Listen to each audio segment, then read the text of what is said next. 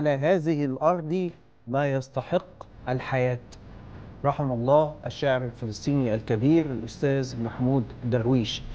إحنا الأسبوع ده في برنامج مصر تستطيع كنا محضرين لحضراتكم حلقة مميزة جدا تم تصويرها في السويس. قابلنا نموذج ملهم جدا وهي شروق وشروق دي حكاية كبيرة جدا هنكتشفها مع بعض النهاردة إن شاء الله في الحلقة. وإحنا بنحضر الحلقة بتاعتنا وجه عبد الله الكحيل النداء إلى جمهورية مصر العربية. مع المصريين خيفون ويا شيخ إيش في عمي؟ أنا رجلي صار على رجلي كل شيء مية المية. ليش صار على رجلي عملوا لي عظم كل شيء.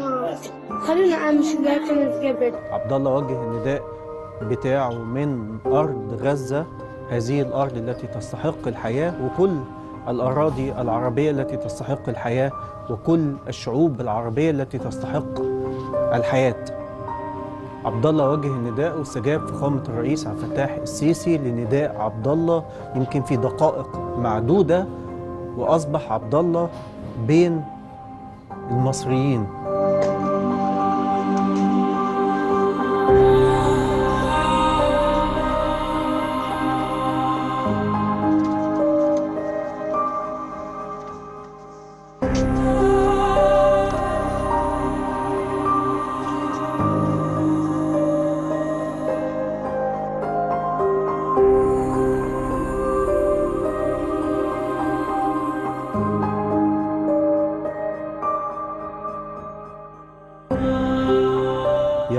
يشعر بالأمان والأمن بينا وإن شاء الله هيشعر إن شاء الله هيخف على أرض مصر وإن شاء الله ربنا يشفيه ويشفي كل مصاب آه، في غزة وربنا يرحم كل شهداء القضية الفلسطينية وكل شهداء الوطن والأوطان العربية بشكل عام. على هذه الأرض ما يستحق الحياة. السلام عليكم. ازيك يا أستاذ عبد الله كويس. إيه الحلاوة دي؟ الحمد لله. إيه الجمال ده؟ آه والله كويس. الحمد لله تمام. أنت جيت القاهرة إمتى يا عبد الله امبارح. امبارح ها؟ احكي لي إيه ال- إيه اللي حصل بالظبط؟ أنت عارف إن أنت يعني مصر كلها بسببك امبارح كانت يعني موجوعة؟ أنا بشكر الرئيس ال- طبعا. السيسي اللي جابني هنا. امم إن شاء الله الله يطول بعمره. يا رب إن شاء الله. إيه اللي خلاك آه توجه النداء ده يا عبد الله؟ وأنت أنت وقتها كنت فين؟ في مستشفى آه، آه. كنت مستشفى إيه في غزة؟ الأقصى. إيه اللي خلاك توجه النداء ده وقتها؟ يجي الصحفيين. امم أبوي وامي يكونوا برا عند ال- الممرضين. امم أنا أقول لهم يا عمي طلعنا على مصر. امم بدي مصر أنا بديش غير مصر. امم بدي مصر بدي مصر. شوي شوي شوي شوية مم. سألوا مصر بدهم مصر بدهم عبد الله بدهم عبد الله. قلنا لهم ماشي بدي أروح على مصر. اشمعنى سألت على مصر يا عبد الله؟ لأن أنا بحب مصر بحب مصر.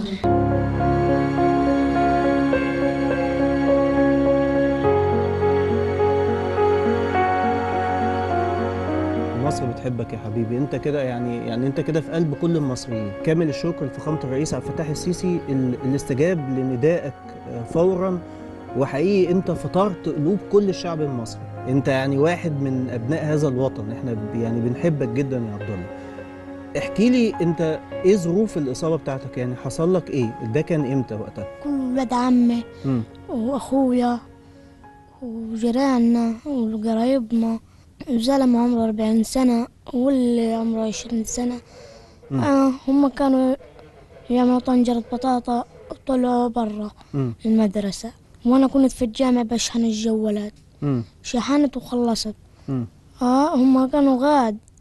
غاد في الإصابة أنا ما كنتش غاد أول مم. خلصت رحت أعطي الجوالات بدي أحكي بحكي ويا وين أخوته ولاد عمي وهدول مم. وليلى قالوا لي راح يسوقوا طنجرة بطاطا يابا أنا قلت له ده روح غاد. لو قال لي لا تروحش تروحش آه رحت. بس ما إيش كلام ورحت مم. قعدت. آه. اجى أخويا قال لي تعال إيش طلع لي الشوكة من إيدي. رحت ألف اجى نص جنبي ورا مين أخويا. نضال نضال آه. الجوار نص جسمه مغطى آه. ونص جسمه مكشف هذا. انصاب هذا وضل هذا. رجلي انقطمت قطم ظنيتني ماسكها ملزقة تلزق ظنيتني ماسكها. وزحفت تحت الشحن ظنيتني ماسكها. مم. عشان الشمس. ظنيتني ماسكها ماسكها ماسكها اجا حد يسافني مم. حملني وحط حطني في الجب وحمل وظل رايح فيا. مم. كلهم مات ما عدا أنا. امم وأخوك نضال استشهد. و... وابن عمك؟ كلهم كلهم. كلهم. آه. وحتى العمر 40 سنة استشهد. ربنا يرحمه يا حبيبي. واللي عنده 40 سنة ده ابن عمك ها؟ كحيل برضه. آه. وابن عمه برضه قده عنده 17 سنة ها؟ آه. قد قد نضال. آه برضه ما استشهد أخوك. هو آه، آه، آه، أخوك الشهيد نضال لما قال لك آه، آه، شيل لي الشوكة كانت الشوكة في جسمه كان دي من الشظايا بتاعت الانفجار؟ شوكة عادي هو هو كان هو ولع نار خشت شوكة خشت آه. وهو ولع نار عادي يعني ما كانش فيه حاجة. آه وهو بده يحط امم خشت شوكة صغيرة في ايده. في إيده. قالت تعال بدي الف اجى جسمه مغطى عليه. نص جسمه مغطى عليه نص برا. لو غطيته كل ما صار فيا أجي بس ضلت هذا برا. كسفت رجلي ظنيتني ماسكها مثبت فيه. مثبت في رجلي. عشان ما تفلتش وتنقطعش. ده كان قصف بقى بالطيران ها وقتها من آه. من طيران دولة الاحتلال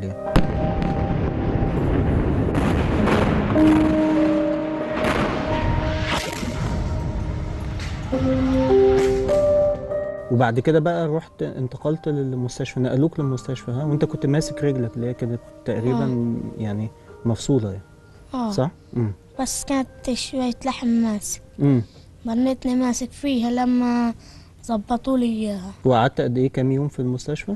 يمكن 15 يوم. في ال 15 يوم دول في في المستشفى كنت بتتلقى العلاج هناك والأمور كانت تمام؟ مش منيح كتير. طبعا الإمكانيات ما كانتش متوفرة وقتها صح؟ هناك في في في المستشفى. آه. بس أنت برضو بطل إنك استحملت كل ده. وإيديك دي كان وفيها إيدي من من القصف برضو ولا؟ طرف طرفين ثلاثة رايحين. امم أنت بقى في مدرسة إيه يا عبد الله؟ بتدرس إيه في مدرسة إيه؟ علي بن أبي طالب. علي بن أبي طالب ها؟ معاك زمايلك في الفصل أنت مطمن عليهم؟ طمنت عليهم كلهم كويسين بخير؟ كلهم بعاد عني. كلهم بعاد عنك فأنت ما تعرفش وضعهم إيه ها؟ بس إن شاء الله يكونوا بخير يا رب. يكونوا بخير إن شاء الله. أنت عندك كام أخ وكام أخت يا عبد الله؟ تلت ولاد غيري امم وثلاث بنات. تلات ولاد بقى أعمارهم قد إيه والبنات أعمارهم قد إيه؟ واحدة عمرها 14 سنة. امم وواحدة لا واحدة مم. 15 وواحدة 14 امم و... وواحد عمره تسع سنين. وواحد عمره ست سنين.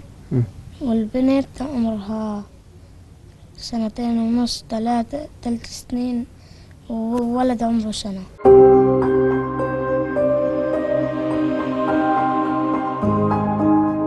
انت ان شاء الله كده لما تكبر نفسك تبقى إيه؟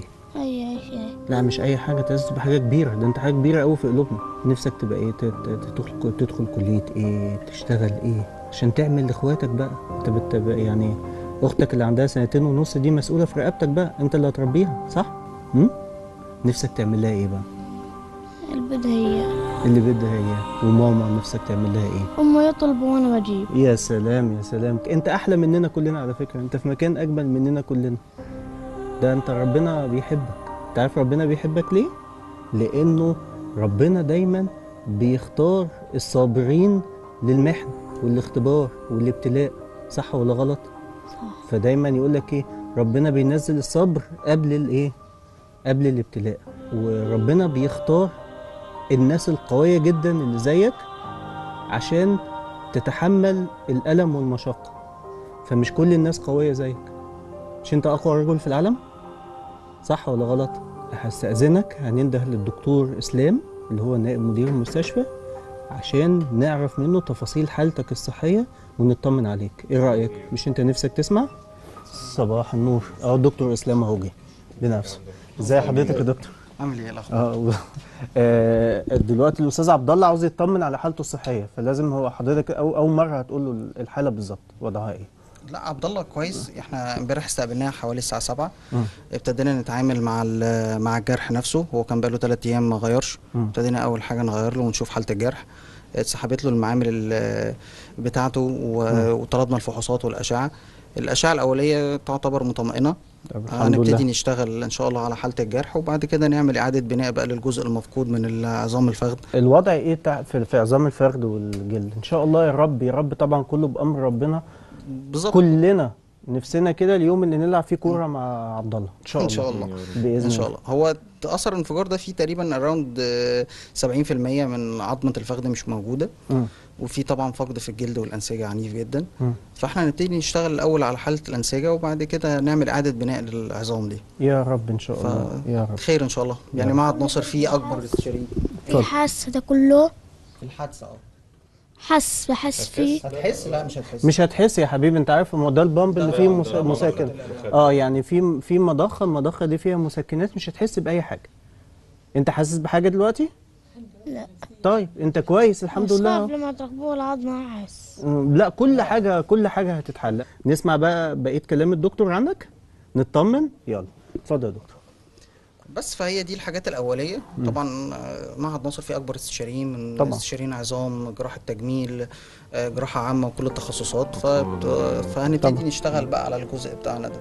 طب آه، دكتور حضرتك عارف إنه قعد حوالي ثلاث أيام من غير ما ما على الجرح وده شيء يعني ممكن كان يعمل له تلوث بس الحمد لله إحنا لحقناه الحمد لله. آه طبعا. هو مجرد بس أول ما وصل إحنا بدأنا في عمل الغيارات. تمام؟ آه وتنظيف الجرح وبدأنا إحنا نسحب له طبعا معامل آه، كامله. آه لقينا نسبة الهيمو- الهيموجلوبين بتاعه كانت قليلة. على الفور على طول عوضناه طبيعي هو فقد دم طبعا يعني طبعا, طبعا طبعا. خاصة هو عامل برضه استكشاف للبطن. مم. وكان عامل استئصال للطحال.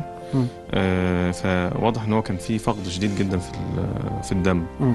تمام زائد بقى ال- ال- الحاجات التعويضيه الأخرى اللي هي الأملاح الجسم ونسبه الالبومين مم. آه والتغذية تمام فإحنا كل الكلام ده على مدار الأيام اللي جاية دي إن شاء الله هنبدأ نعوضها بحيث إن إحنا نهيئه ونجهزه لل- للعمليات أو أي تدخلات قريبة إن شاء الله يا رب إن شاء الله. الفريق الطبي المعالج ليه في كام دكتور وكام تخصص يا دكتور في كتير يعني عندنا دكتور أحمد خشبه جراحه تجميل. دكتور يحيى راضي جراحه عظام دكتور. محسن أحمدي. جراحه عامة آه، إلى جانب بقى دكاترة. الأطفال والتغذية والعلاج. الطبيعي وأمراض الدم فطقم كامل متكامل أي حاجة هيحتاجها إن شاء الله هنبقى قدها بإذن الله إن شاء هي الله الحالة تشالنجينج بس إن شاء الله خير بإذن الله يعني أنت أنت تحدي لل- للناس كلها بس يعني. اللي هو إحنا بندعي دايما بنقول يا رب يا ابطال صح ولا غلط مش دايما بنقول يا رب ها بس عاوز أقول لك حاجة بقى معهد ناصر تحديدا بقى أنا بحبه جدا. وهقول لك حكاية كده.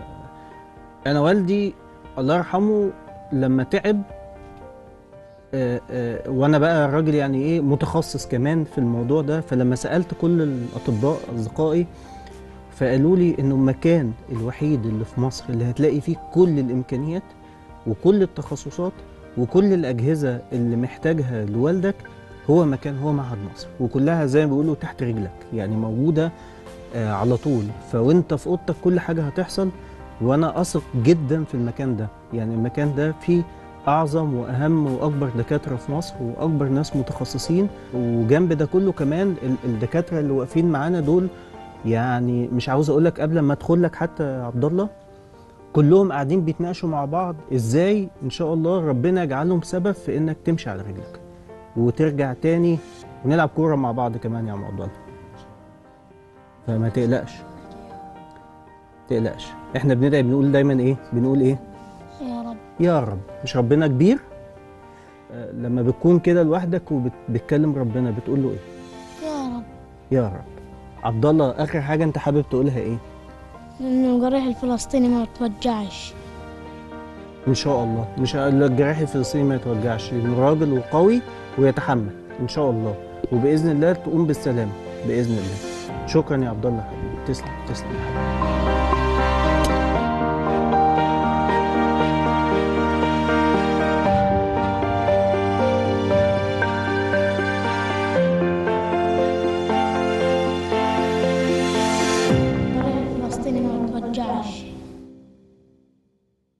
Zeleny Jokos spoke to Egypt's health minister.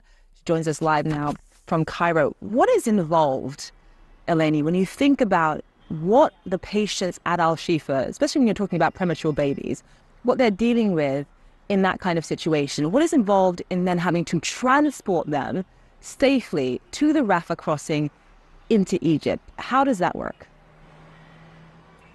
Yeah, I mean, the simple thing that perhaps you and I and everyone else takes for granted is oxygen.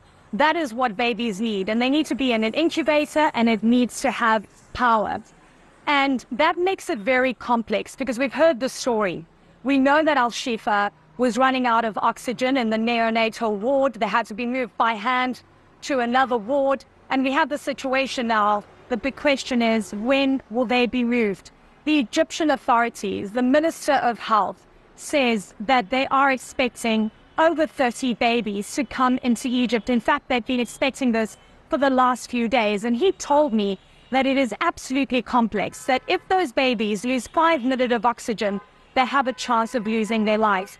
You know, for the very first time, Zain, CNN was able to go and visit one of the hospitals here in Egypt, in Cairo, that is hosting injured Palestinians. We know that injured Palestinians have been coming through from Gaza since November, uh, the early November, and they have been treated here. There's been various hospitals that have been assisting them, but it's the process of getting them out of Gaza and into Egypt. And it's incredible just to see the insight that when they arrive at the Rafah border crossing, you know, that Minister of Health was telling me they get a very simple paper that is handwritten in terms of their diagnosis and, in terms of what interventions are needed. On the Egyptian side, you have multiple doctors from various specialities that need to intervene because we're talking about multiple injuries. We're talking about shrapnel, we're talking about head injuries, wounds, burns um, that need to be addressed.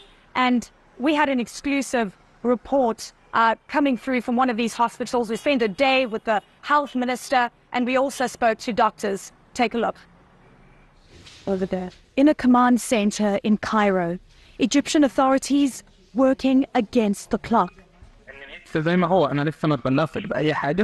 زي ما هو انا لسه ما اتبلغتش باي حاجه اللي اتبلغت بيه ان لسه الحالات موجوده في المستشفيات ولسه ما اتسحبتش في في اتجاه منفذ رفح.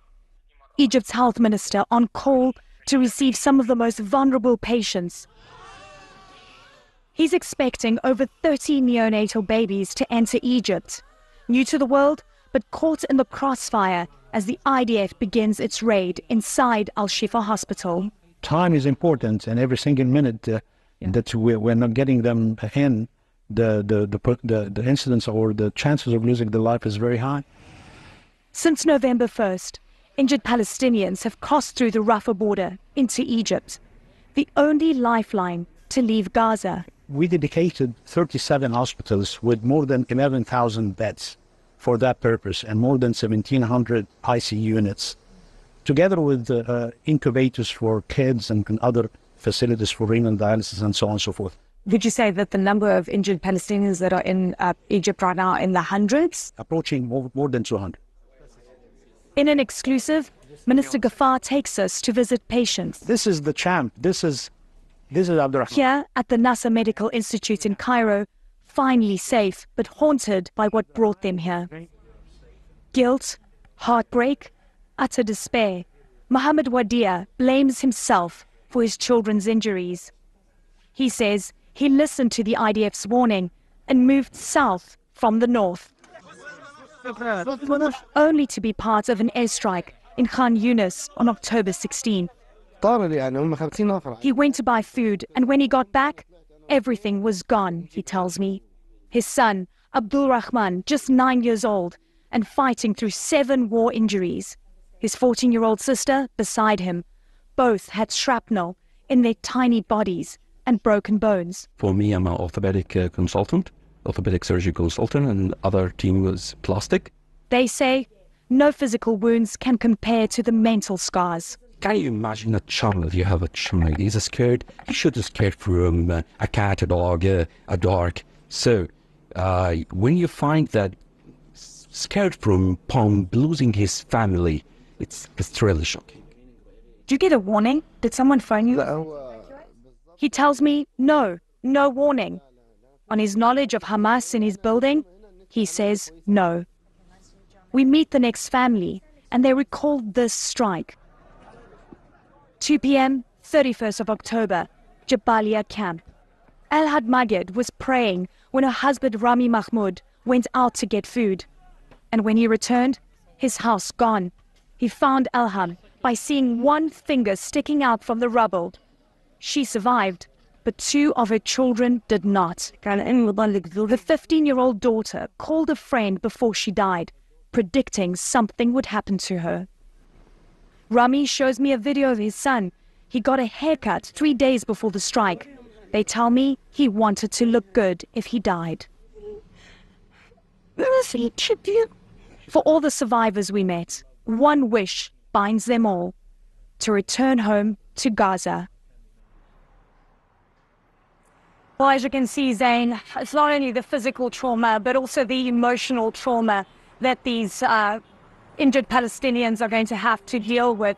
You know, the doctors that we spoke to, and they come from different specialities, were really giving me a sense of just how complex it is to deal with these injuries.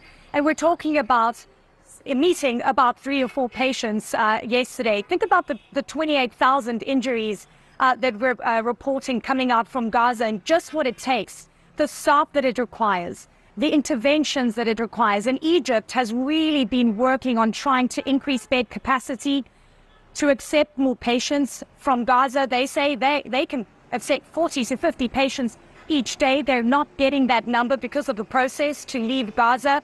For many of these people, um, it's a matter of life and death. The only way to get out of Gaza right now is into Egypt. And even then, what they leave behind is trauma, destruction, and uh, family that they've lost, that they will nev- never see again. The stories that we heard are absolutely heart wrenching. And it, one thing that I, walked away with is that each person, each family has a story. And, and this really is what stuck with me. And the Egyptians, uh, even the doctors were tearing up, telling me about some of the things that they hear and just the amounts of intervention that is required, not only immediately, but also in the months to come for each and every person that they're treating. Yeah, Elena, I think it's really important that you bring up the emotional trauma for a lot of these people, just given what they have been through. Most of us cannot even imagine. Um, Eleni Jokos, live for us there. Thank you so much for that piece. We appreciate it.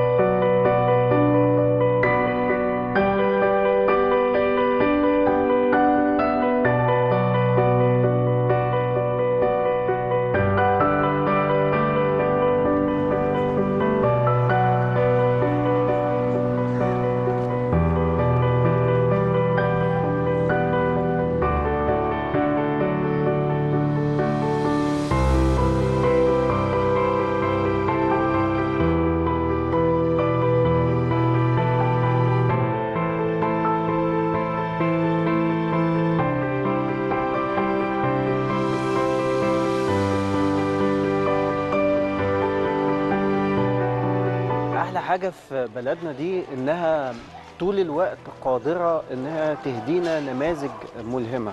نماذج بتخليك تقف كتير قدام نفسك كده في المراية وتقول الحمد لله على كل حاجة الحمد لله على كل نعمه. آه، الحمد لله على نعمة الإرادة والتحدي وإنك آه، آه، تقف قدام الظروف الصعبة. النموذج ال- الملهم اللي بلدنا النهارده بتهدهولنا هو آه، بنتنا بنت مصر. اسمها شروق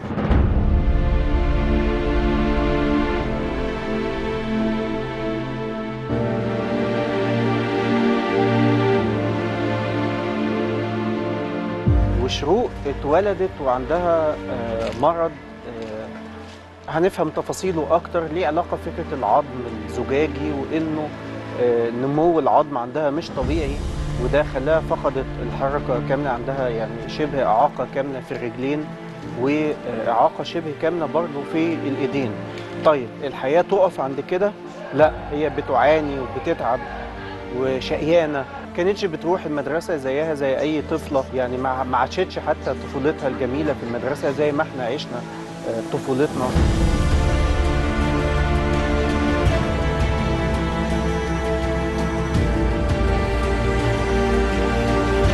وكان بيتعمل لها لجان امتحان جوه بيتها اللجنة بتجي لها لحد البيت. أختها علمتها الكتابة آه، على الرغم إن إعاقة إيديها شبه كاملة لكن علمتها الكتابة بتكتب وهي نايمة تقريبا على السرير. جابت في الثانوية العامة 96% اللي هو أكبر من أي حد يعني. ودخلت كلية الإعلام آه، قسم صحافة وقدرت إنها تتفوق وتاخد بكالوريوس الإعلام. وما وقفتش عند كده بقى ما نامتش في البيت. لا أنا بتحاول تشتغل فريلانس مع بعض الحاجات شوية بتحاول تجتهد تعمل حاجة مختلفة في الحياة. بالبلدي كده بتعافر والمعافرة اللي بتعملها بنتنا شروق ملهمة حاجة كده عظيمة. والأعظم بقى إنها بنت السويس يعني المدينة اللي كلنا بنعشقها وبندوب آه، في ترابها.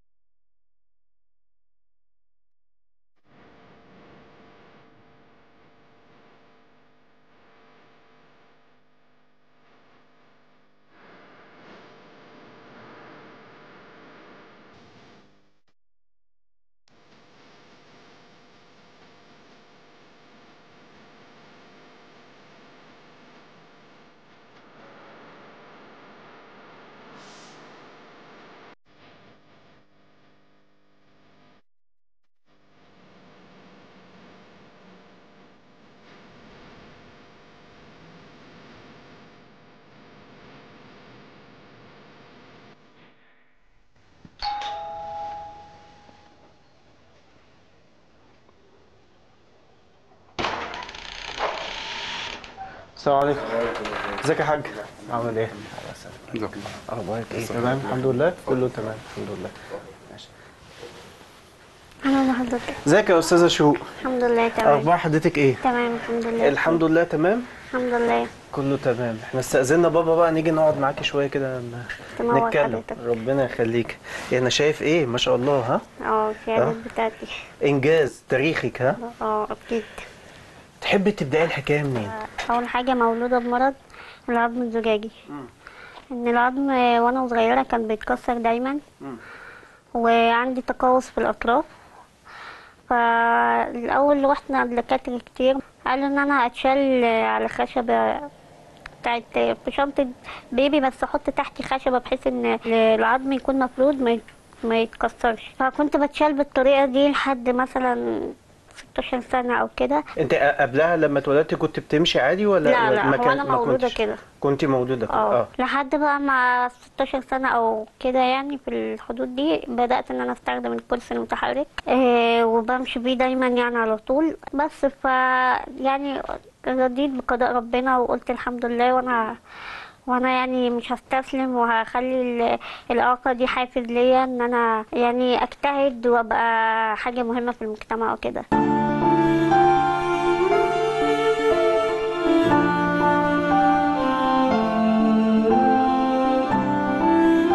بس فبدأت ان أنا اتعلم الكتابة. أختي كانت علمتني الكتابة وأنا نايمة. على ظهري بحط الورقة هنا والقلم وبكتب. بس فبدأت ان أنا اكتب وبعد كده دخلت المدرسة الابتدائية. وكنت باخد دروس خصوصية في البيت. ما روحتيش المدرسة بقى؟ في نتيجه للمرض لظروف المرض غير على آه. ال- الامتحانات بس. آه. كنت بعمل لجنة خاصة بمرافق عشان كان بيكتب لي بحيث إن أنا بطيئة في الكتابة وكده. بس ففضلت على النظام ده لحد ثانوي يعني. في ستة ابتدائي كنت طالعة من أوائل المدرسة وتالتة إعدادي وتالتة ثانوي كنت من أوائل المحافظة. ومحافظ السويس آه، الله كرمني أكبر عليك والله. بس لحد بقى ما جبت ستة وتسعين في المية في الثانوية العامة. بس لحد ما دخلت بقى الكلية وكنت بودي تقرير طبي بالحالة بتاعتي. أو ما كنتش بروح بس غير كل فين وفين كده. ما بابا يكون واخد أجازة أو كده. كنت بروح أحضر مع زمايلي سكاشن ومحاضرات آه بقعد لآخر اليوم مثلا واجي. بس والباقي بقى كنت بروح على الامتحانات. وكانت في موظفة من. من الكلية هي اللي كانت بتكتب لي يعني.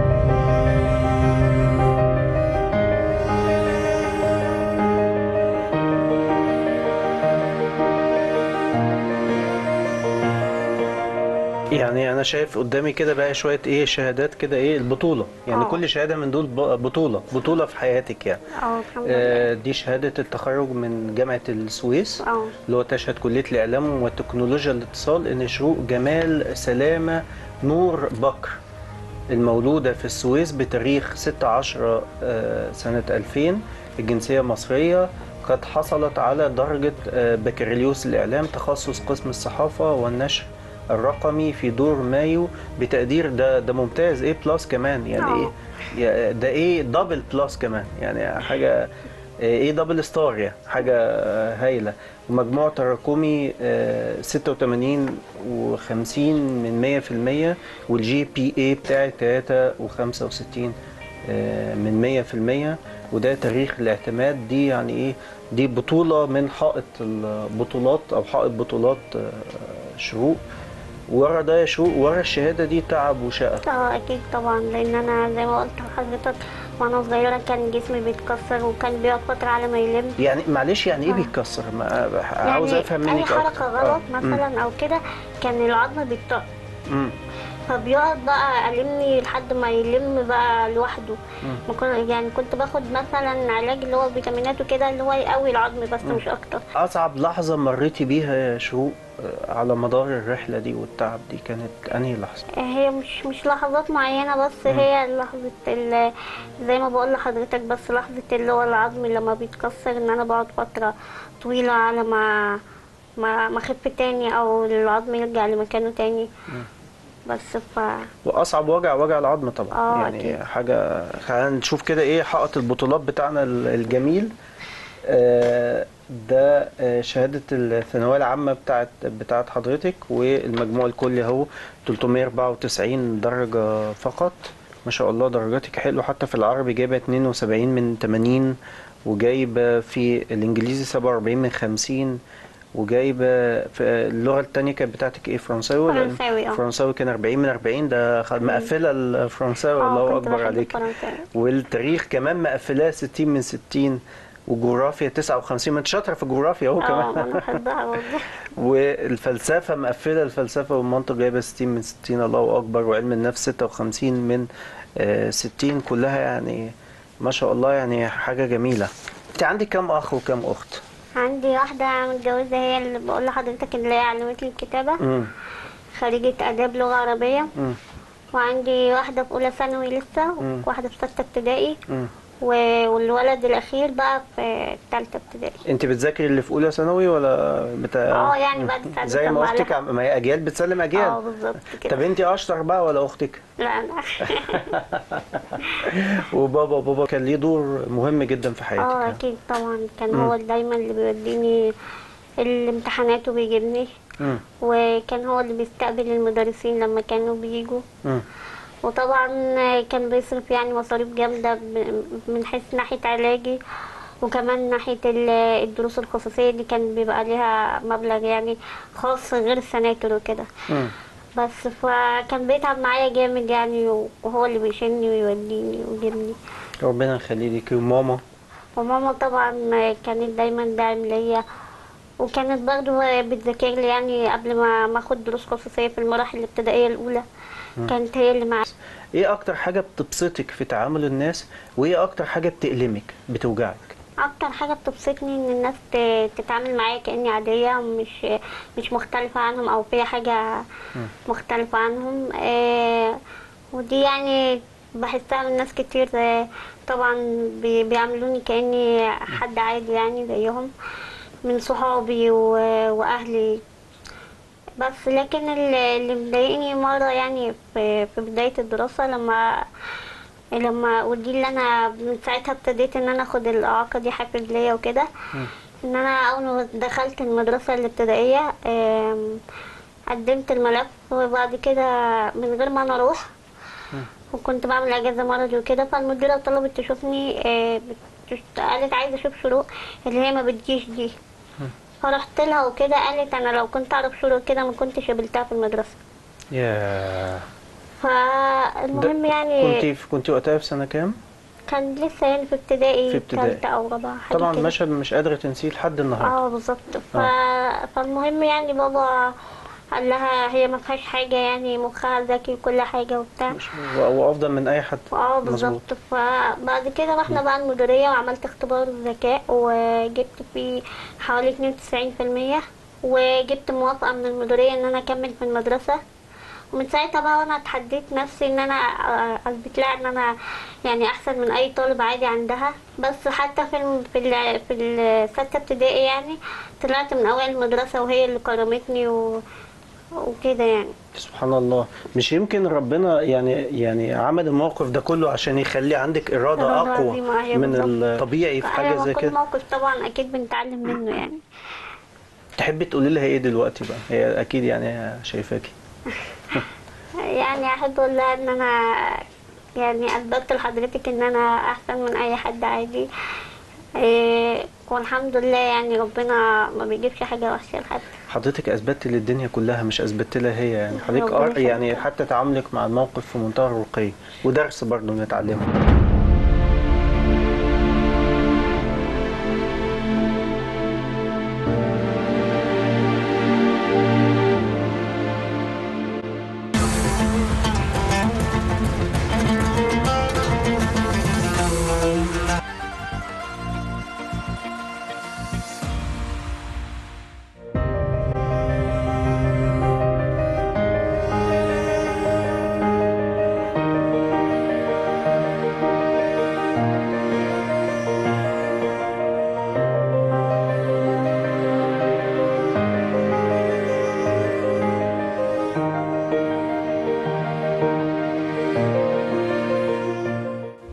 وحضر في الحال. أول لما تقولي بابا صح سؤال محترم ازيك يا أستاذ جمال؟ أول لما بتقولي بابا تلاقيه يعني من قبل ما بتكملي ال- الجملة يعني ربنا يخليه لك دعم وسند. آه، أستاذ جمال شروق نموذج يعني مختلف. ربنا اختارها إن هي تكون ملهمة لينا كلنا. لما اتولدت شفت فيها إيه؟ ما اتولدت أول ما اتولدت يعني شفت إن الطفلة يعني شكلها كده يعني سعيدة كده أو حظها هيبقى حلو وكويس في الدنيا الحمد لله. الحمد لله على كل حال. أنا أنا ملاحظه إن حضرتك على مدار رحلتك معاه ما جالكش إحباط خالص بالعكس. لا لا لا أنت أنت بدأت من أول لحظة اللي هو لأ هي شروق هتتفوق على الكل. هي تفوقت على أخواتها وعلى كل المنطقة وعلى كل ال... الناس كلها. الحمد لله. اللي خلاك شفت ده إيه؟ يعني إيه اللي, إيه اللي خلاك شفت حاجة زي كده جوه شروق؟ لأن من بدايتها طموحة يعني عايزة تبقى حاجة. فمش قادر أنا عاوز أحقق لها رغبتها. وفعلا يعني كملت ان هي عاوزه تتعلم من ساعة ما بدأت بقى تحس من الابتدائي فعملت على قد ما أقدر معاها على أساس إن هي تحقق رغبتها وتبقى حاجة. يعني الحمد لله. اللي حواليك المحيط بتاعك آه، أول لما اتولدت شروق آه، قالوا لك كلام يعني شوية أحبطك في البداية؟ يعني في اللي كان آه. يحبطني وفي اللي كان يشجعني على كده. يشجعك. يشجعني على كده. الحمد لله. الحمد لله على كل حاجة. أنت نفسك في إيه لشروق نفسي تبقى عالمية كبيرة كده و... إن شاء الله بإذن إن شاء الله الله بإذن الله بإذن كده. الله بإذن الله. وتبقى حاجة كبيرة كده إن شاء الله. يا رب إن شاء الله. هستأذنك تندهي بقى لماما كده. ماما يا ماما. ازي حضرتك؟ عليكم. السلام. اتفضلي كده اتفضلي. ربنا يكرمك وي- ويخلي ويخلي لك آه، شروق يا رب وشروق تفوقت على الكل يعني؟ هي اللي في القلب طبعا ها؟ طبعا. بس ده تمييز يعني. انت كده بتميزي شروق عن بقية الاخوات كلهم غلاوة واحدة بس هي انت عارف هي ظروف خاصة كده فغلاوتها زيادة شوية. هي غلاوتها زيادة مش في قلبك بس في قلبنا كلنا يعني.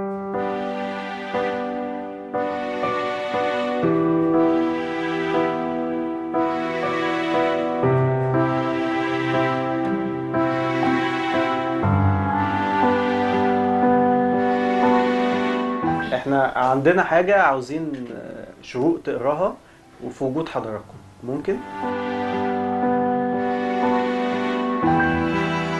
استأذنك عندنا جواب لحضرتك.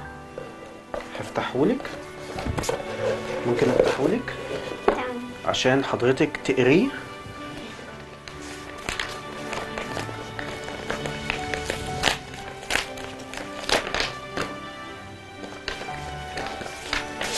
تقريه بقى بصوت عالي؟ هستأذن حضرتك عشان بابا وماما يسمعوكي وانت بتقري الجواب. اتفضلي. بس هو أنا مش بعرف أقرأ من بعيد يعني لازم آه اقربهولك كده. كده كويس؟ تمام.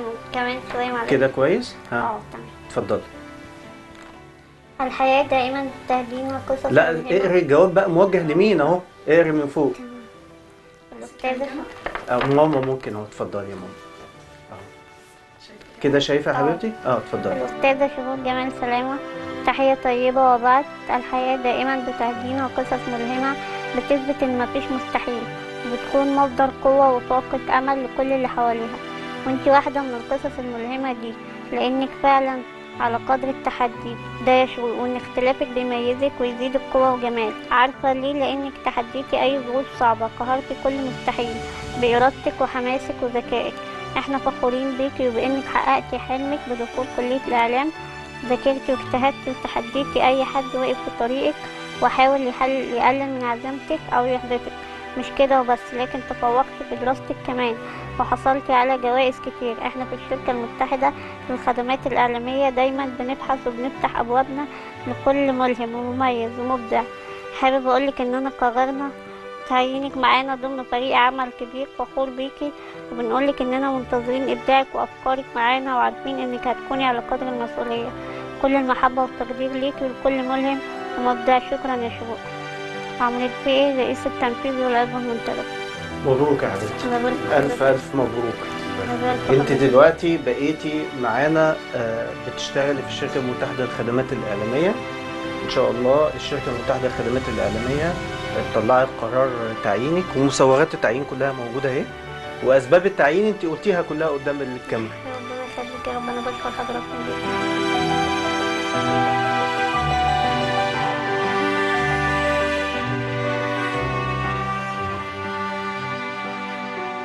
يعني أنا حابة إن أنا يبقى في حاجة أونلاين مناسبة للظروف يعني مثلا. انت عارفة إحنا عندنا الحمد لله متحده الخدمات الإعلامية كيان كبير يعني عندنا أكبر جرايد ومواقع في مصر. وعندنا الحمد لله أو بننتمي لهذا الكيان وفي أكبر قنوات موجودة آه، في مصر. فتختاري معانا المكان المناسب ليكي أكتر عشان تكوني آه، آه، معانا. ومبروك عليكي يا ماما شقاكي. الله يخليك شكرا كنت متوقعة شو؟ لا الحقيقة. ربنا يخليك. شكرا لحضرتك. حضرتك كنت متوقع لا حضرتك متشكرين جدا. مفاجأة والله الحمد لله. بس بص أنا شايف شايف في عين ماما بقى بص شقى الدنيا كله أو تعبها يا عيني السنين اللي فاتوا ده كله طلع عليها النهارده. يعني شوف الحمد لله على كل هي حال. اللي تعبت أكتر يعني هي اللي كانت بتتعب. إحنا كنا آه بندعمها بس هي كانت اللي بتكافح وهي اللي بتذاكر وهي اللي كانت بتسهر وكانت بتجاهد. كانت ممكن تقول لك لا أنا ما أقدرش أنزل وما أقدرش أروح وما أقدرش أجي أنا وليا ظروفي. لكن لا هي تحدت الدنيا كلها وقالت لا أنا عايزة أتعلم وعايزة طب ندخل صنايع مثلا شو؟ لا أنا عايزة أدخل ثانوية عامة. مش هتقدري مش عشان حاجة والله مش عشان المصاريف ولا الدروس ولا الكلام ده كله. كنت خايفة عليها من صعوبة بس الثانوية العامة زي ما حضرتك عارف ال- الإجهاد بتاع المذاكرة وكده. قالت لي لا أنا مش هدخل أي مجال غير الثانوية العامة. وخلصت وربنا كرمها ودخلت إعلام. يعني هي اللي كافحت بصراحه إحنا بنعمل بس اللي علينا الحمد لله. الحمد لله. الحمد لله. شفت أنا قلت لك قولي يا رب. ربنا يعني آه، ربنا دايما موجود وبيلبي الدعاء والنداء وإحنا بنتشرف إن انت إن شاء الله هتبقي فرد من أفراد وعضو مهم من أعضاء آه، آه، الشركة المتحدة للخدمات الإعلامية وتبقي معانا في من ضمن العاملين في الشركة. عشان كده إيه ال- المحبة تزيد. وجودك محبة في أي مكان. إن شاء الله بإذن الله. بس خلي بالك إحنا إيه بقى؟ الشغل عندنا شغل يعني. يعني إيه هنتعب شوية بس إيه آه، نعمل حاجة كويسة إن شاء الله بإذن الله. ألف مبروك يا أستاذة شروق وده جواب تعيين حضرتك في المتحدة. إن شاء الله الإجراءات هتبدأ فورا. ونشوف الشكل مناسب إن شاء الله لوجودك بإذن الله. و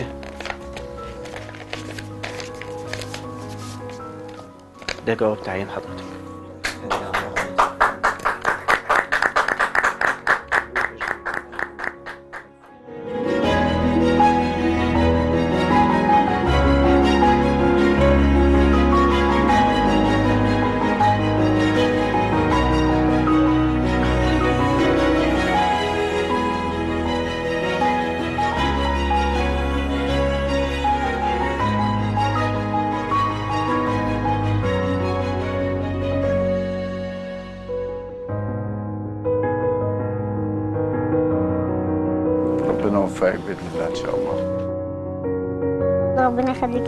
يخليك ليا وتفضل دايما واقف